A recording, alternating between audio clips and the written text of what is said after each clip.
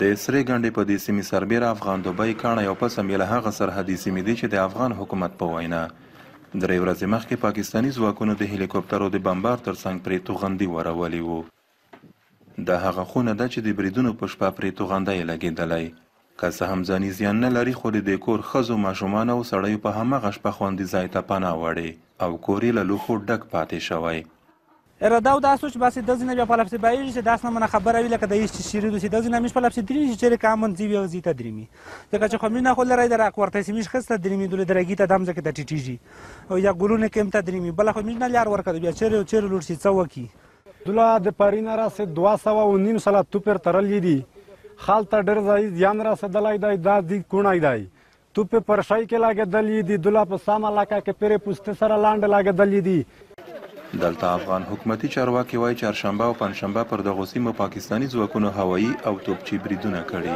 لږ تر لږه څلور ملکیان یې وژلي، یو شمېر ټپیان دي او ځینې کورونه او موټر هم تخریب شوي. افغان حکومت د پاکستاني مقاماتو دا خبره ردوي چې ګنې طالب جنګیالي په جنوبي وزیرستان کې د پاکستان پر امنیتي ځواکونو تر برید وروسته د کرښې دې غاړې ته رااوښتي.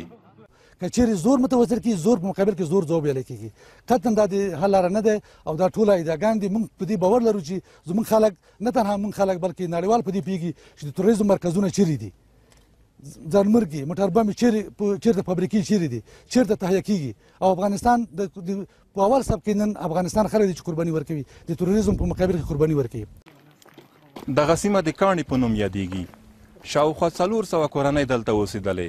خو د تیرو درې ورځو پرله پسې بریدونو په پایله کې اکثریت کورنۍ دې ته اړ شوي چې خپل کورونه پریږدي او خوندي ځای کې پناه واخلي. که څه هم د پنجشنبې راهیسې بیا برید نه دی شوی، خو د دغو سیمو خلک وايي چې د نورو احتمالي بریدونو د وېرې له وجې خوندي سیمو ته پناه وړي. تر دیارلس سوه څوېرلس سوه کورونو پۀ راچې څوک یې سپۀ د یې خوا ته د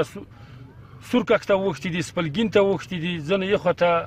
هغه ته تللي دي، مخکې د ګلونو هغه چې بلو کام،